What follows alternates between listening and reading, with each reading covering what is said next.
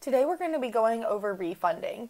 So for this reservation, we're going to refund by tickets. So if I click on the reservation number and then click on transactions, and if I click on the number to open up that transaction, I'm going to see the tickets right here. I'm going to click on set refund amounts.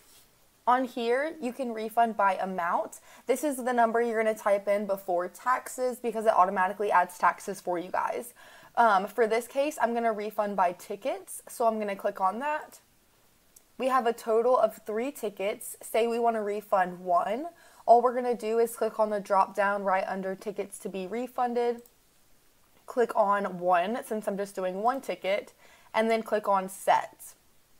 Right here at the bottom right, I'm going to click refund 89 plus tax and then it's automatically going to drop our tickets down from three tickets to now two. So if I go out of that transaction, you can see the number of tickets right here, the refund, and it's automatically going to adjust that price right here in the total price. The second example is going to be refunding by amount. So we're going to do the same thing, click on the reservation number, click on transactions, and go into that number. So say they went on the trip, but you want to refund, say $50.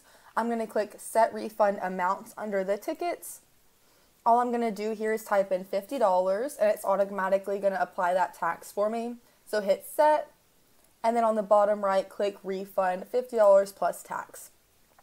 As you can see now, if we go back to our reservation, you have an underpay of $53.50, just showing that that is what you refunded. Our third example is going to be refunding a merchandise item, whether it be a security deposit or in this case a delivery and pickup fee. What we're going to do is click on that reservation number, open up our transactions, and then underneath the delivery slash pickup, what I'm going to do is click set refund amounts. Under the refund quantity, put in one.